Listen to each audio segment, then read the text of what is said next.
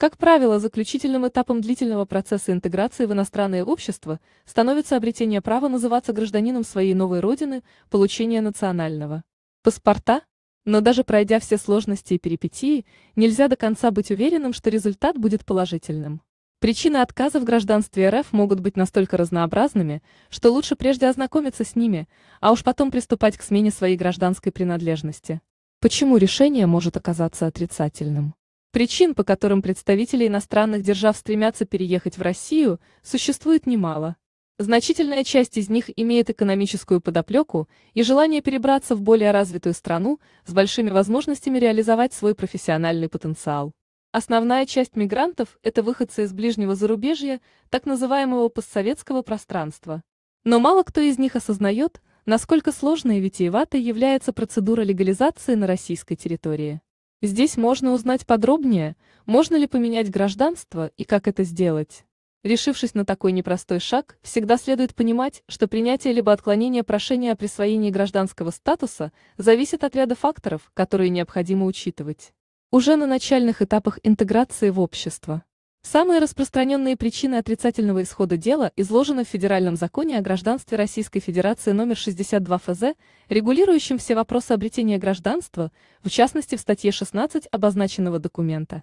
Отказ в получении гражданства РФ можно получить, если заявитель своими действиями угрожает безопасности страны или всячески способствует смене конституционного строя в ней, участвовал или участвует в вооруженных конфликтах, включая международные, в ходе которых совершал некоторые действия против российских войск или отрядов миротворцев.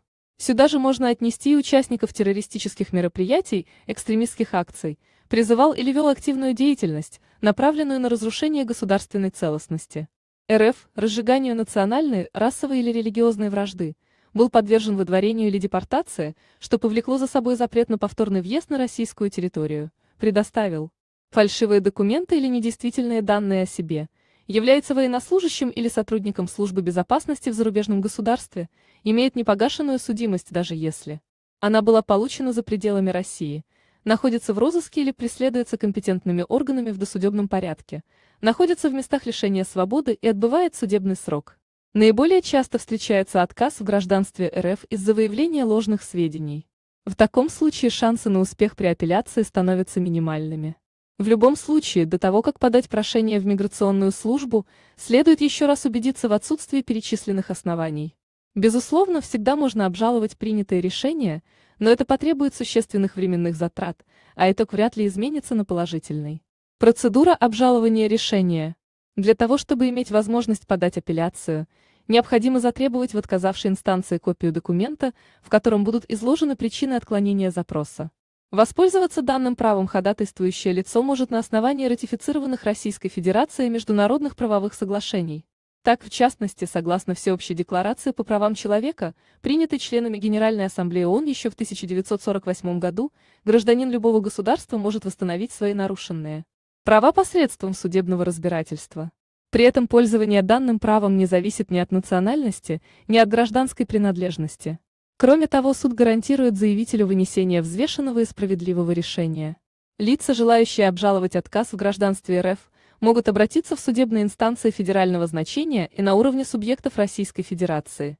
Подается прошение там, где заявитель постоянно проживает, либо на адрес судебного органа, к которому прикреплен данный населенный пункт. Составляем исковое заявление. Документ, на основании которого будет осуществлено разбирательство, должен соответствовать некоторым требованиям, установленным статьей 125 Кодекса административного судопроизводства. РФ. В нем говорится, что документ должен быть составлен письменно, разборчивым почерком и содержать дату и личную подпись истца. В тексте заявления следует указать информацию такого порядка. Наименование судебного учреждения, куда обращается ходатайствующее лицо, сведения об ответчике и заявителе – информация по вопросу нарушенных прав, перечень требований к ответчику. К письменному обращению в суд должен прилагаться список бумаг, которые предоставляет заявитель на рассмотрение суда. Кроме того, истец непременно должен обозначить в тексте документа, какие именно права были нарушены, ссылаясь при этом на международные акты. Одним из приложений к заявлению должна служить копия полученного отказа. Оригинал данного документа истец должен предоставить суду в ходе проведения разбирательства. Подача прошения На обращение в судебный орган у заявителя имеется в распоряжении всего три месяца. Точкой отсчета является день, когда он был уведомлен о принятом решении. Если данный срок будет нарушен, суд имеет все основания отклонить рассмотрение дела при условии, что истец не докажет, что у него на то были уважительные причины. Подавать ходатайство следует лично либо через законное доверенное лицо. К последним можно отнести родителей, опекунов, представителей, которые выполняют данную функцию на законных основаниях, к примеру, истец воспользовался помощью адвоката. Направить прошение в суд можно тремя способами. Лично в канцелярию, заказным письмом, онлайн, на сайте соответствующей судебной инстанции посредством заполнения специального формуляра. Вместе с тем следует представить копии заявления и всех сопутствующих документов в орган, который отклонил запрос о российском гражданстве, а именно в ГУВ МВД, если вести все дела будет адвокат, тогда пакет бумаг следует пополнить договором о предоставлении юридического содействия и дипломом об образовании нанятого специалиста. Сюда же прилагается квитанция об уплате пошлины. Если запрос будет удовлетворен, эти средства вернет ответчик. Как проходит рассмотрение прошения? Какими бы ни были основания отказа в приеме в гражданство РФ, на протяжении следующих за подачей заявления трех дней суд должен вынести решение о принятии дела к рассмотрению, либо отказе в проведении. Данные процедуры. Копии принятого вердикта направляются обеим сторонам судебного процесса. Если исковое прошение было составлено неверно, оно может быть возвращено заявителю. Обычно период, когда дело готовится к рассмотрению, и день, на который будет назначено разбирательство, устанавливается непосредственно судом. Тем не менее, по регламенту процедура не может затянуться более чем на два месяца. Обязанность доказать, что отклонение запроса на гражданство было осуществлено без нарушений и имеет под собой законные основания, возложена на миграционную службу, которая и вынесла отрицательное решение. В свою очередь, заявитель должен представить суду доказательства неправомерности отказа. Только после изучения всех фактов и документов суд сможет вынести свой вердикт. Нет смысла говорить, что все аргументы должны быть подкреплены справками, свидетельствами и другими документами, составленными в письменном виде.